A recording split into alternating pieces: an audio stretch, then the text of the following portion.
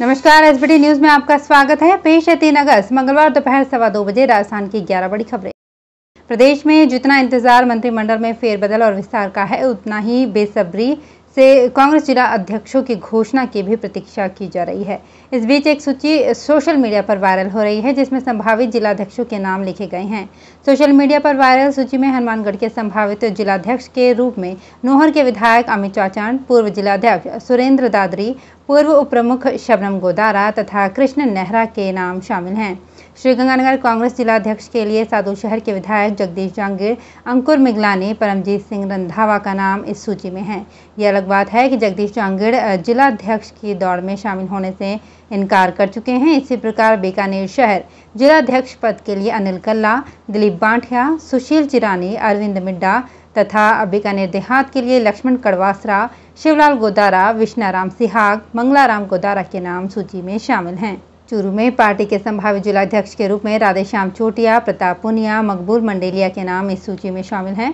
Social media पर viral सूची में धौलपुर में अब्दुल सगीर खान, विनीत शर्मा, भगवान सिंह कुशवाहा, अलवर में कृष्ण मुरारी गंगावत, योगेश मिश्रा, अजीत यादव, डूंगरपुर में महेंद्र बरजोड, प्रेम कुमार पाटीदार, बांसवाड़ा में कृष्णपाल सिंह, मांगीलाल नायक, प्रतापगढ़ में शिवलाल पाटीदार, भानु प्रताप सिंह। उदयपुर ग्रामीण में लक्ष्मी नारायण पांड्या, विवेक कटारा, कचरू लाल पटेल, उदयपुर शहर में सुरेश श्रीमाली, पंकज शर्मा राजसमंद में हरि सिंह राठौड़ दिनेश परमार भरतपुर में दिनेश सुपा, दीवान शेरगढ़, आदित्य शर्मा, झुंझुनू में दिनेश कुंडा, सुमन रायला, प्रवीण कटेवा, नागौर में हनुमान राम बांगड़ा, जाकिर जैसावत सीकर में हाकम अली, फूल सिंह ओला, पी एस जाट अजमेर देहात में राम नारायण गुर्जर एडवोकेट हरि सिंह, अजमेर शहर में, कमल बाकोलिया, हेमंत भाटी, टोंक में, लक्ष्मण चौधरी सवाई माधोपुर में, रामजीलाल जोशी, गोविंद गुप्ता, शिवचरण बैरवाम, बारा में भरत मारन, करण सिंह राठौड़ बूंदी में राकेश बोयत सत्येश शर्मा,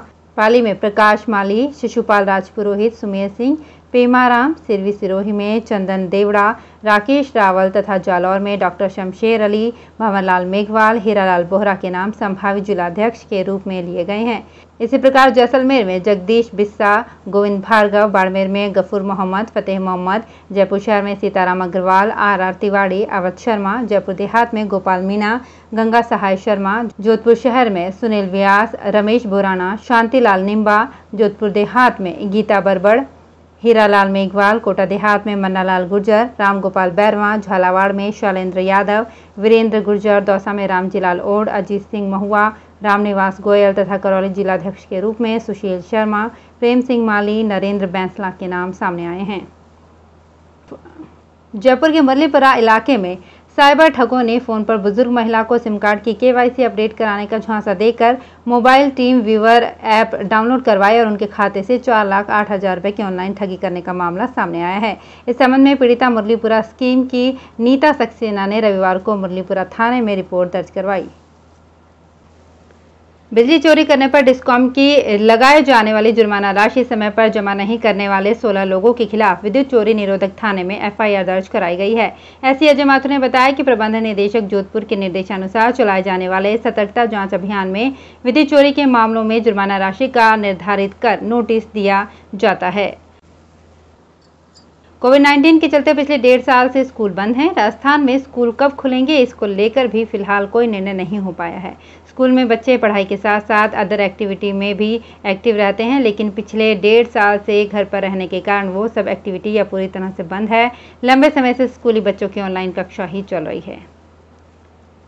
कार्यवाहक महापौर एवं वित्त समिति की चेयरमैन शील धाबाई की अध्यक्षता में सोमवार को नगर निगम ग्रेटर मुख्यालय में वित्त समिति की बैठक आयोजित हुई। बैठक में वर्ष 2021-22 के लिए समितियों के अध्यक्षों एवं विभिन्न अधिकारियों को वाहन उपलब्ध करवाने के प्रस्ताव का सर्वसम्मति से अनुमोदन किया गया।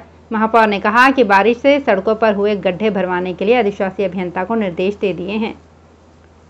आरटीओ ऑफ़िस में लॉकडाउन की वजह से पिछले दो माह में पेंडिंग चल रहे ड्राइविंग लाइसेंस, दोपहिया व चौपहिया वाहनों का हस्तांतरण, आरसी रिन्यूअल, डुप्लीकेट रजिस्ट्रेशन जारी करना, बाहरी राज्यों से आए हुए अन्य वाहनों का हस्तांतरण के अलावा वाहनों का लोन चुकता करना समेत कई अन्य मामले बड़ी तादाद में पेंडिंग चल रहे हैं। जयपुर आरटीओ ने ड्राइविंग लाइसेंस की पेंडेंसी दूर करने के लिए लाइसेंस के स्लॉट बढ़ाकर दोगुने कर दिए हैं। राजस्थान कर्मचारी चयन बोर्ड की दो अलग अलग भर्तियों में एक ही सवाल के दो अलग अलग उत्तर मानने का मामला सामने आया है। बोर्ड ने एलडीसी भर्ती में विद्युत परियोजना को लेकर एक सवाल पूछा था। इस तरह का सवाल जेईएन सिविल डिप्लोमा भर्ती में भी पूछ लिया गया। दोनों ही भर्तियों में जवाब अलग अलग होने के कारण अभ्यर्थियों के सामने परेशानी खड़ी हो गई। उन्होंने एलडीसी भर्ती के जवाब को सही मानते हुए बोर्ड में जेएन भर्ती की आंसर की पर आपत्ति दर्ज कराई थी। आखिर बोर्ड को जेएन भर्ती के जवाब को बदलना पड़ा। जयपुर में कैब चलाने वाली ओला कंपनी के खिलाफ ड्राइवर ने धोखाधड़ी का मामला भांकरोटा थाने में दर्ज कराया है। इसमें आरोप लगाया है कि कैब कंपनी ने पहले तो ड्राइवरों में पैम्फलेट बांटे कि अब ड्राइवर से कार मालिक बनी है। इसके बाद एग्रीमेंट कर कार दिलवा दी। रोज, रोज़ाना ग्यारह सौ दस रुपए कार की किस्त के लिए। लॉकडाउन में कंपनी के अधिकारियों ने गाड़ी बाड़े में खड़ी करवा ली और अब नीलाम करने जा रहे हैं। राज्य सरकार प्रतापगढ़ में कृषि उपज मंडी समिति के मुख्य मंडी प्रांगण का विस्तार करेगी। इसके लिए मंडी प्रांगण के पास 2.11 हेक्टेयर भूमि अवाप्त की जाएगी। सीएम अशोक गहलोत ने भूमि अर्जन के प्रस्ताव का अनुमोदन और अधिसूचना के प्रकाशन की स्वीकृति दी है। मंडी प्रांगण के विस्तार के लिए पाँच भूखंडों की अवाप्ति की जानी है, जिसके लिए संभावित मुआवजा राशि पाँच करोड़ बयालीस लाख होगी। हाईकोर्ट ने एसआई भर्ती 2016 की कट ऑफ़ में आने के बाद भी अयोग्य ठहराए प्रार्थी अभ्यर्थी का दोबारा मेडिकल करवाने का निर्देश देते हुए गृह सचिव डीजीपी और आरपीएससी सचिव सहित अन्य से जवाब मांगा है। अदालत ने यह निर्देश दलाराम की याचिका पर दिया है। याचिकाकर्ता ने अपनी ऊंचाई को लेकर अयोग्य ठहराने को गलत बताया था।